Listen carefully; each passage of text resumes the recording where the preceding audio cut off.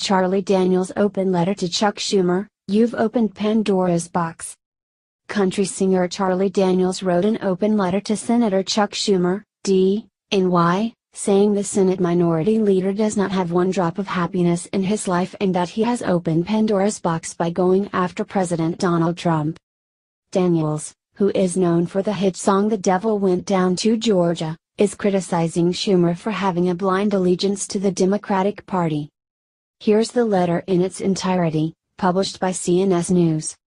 Senator Schumer, I don't live in your constituency, but in the larger picture, you live in mine and every other legal, tax-paying American citizen who is affected by the power you hold in your political party, your blind allegiance to it and the obstructionist posture to anything that doesn't directly benefit it.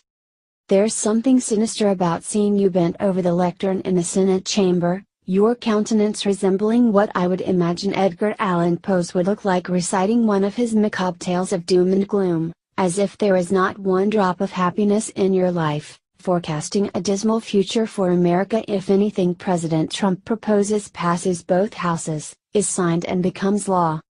I know you're disappointed, I know you had the balloons ready to fall and the corks halfway out of the champagne bottles on election night.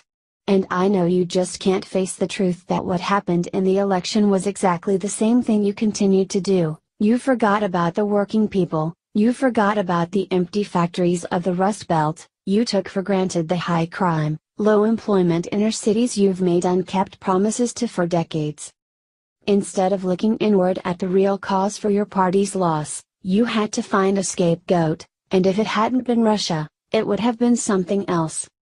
Senator Schumer, will you do me and America a favor?